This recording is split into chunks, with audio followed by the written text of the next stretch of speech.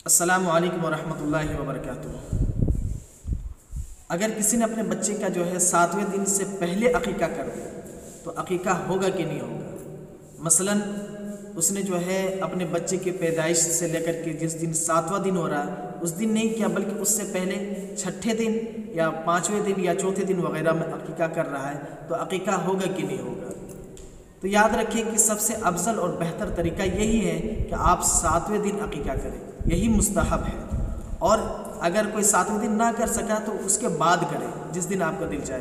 लेकिन अगर कोई सातवें दिन से पहले ही अकीका कर दे, छठे दिन, पाँचवें दिन, चौथे दिन वगैरह में तो अकीका हो जाता है, लेकिन अफजल और बेहतर तरीके के ख़िलाफ़ होता है।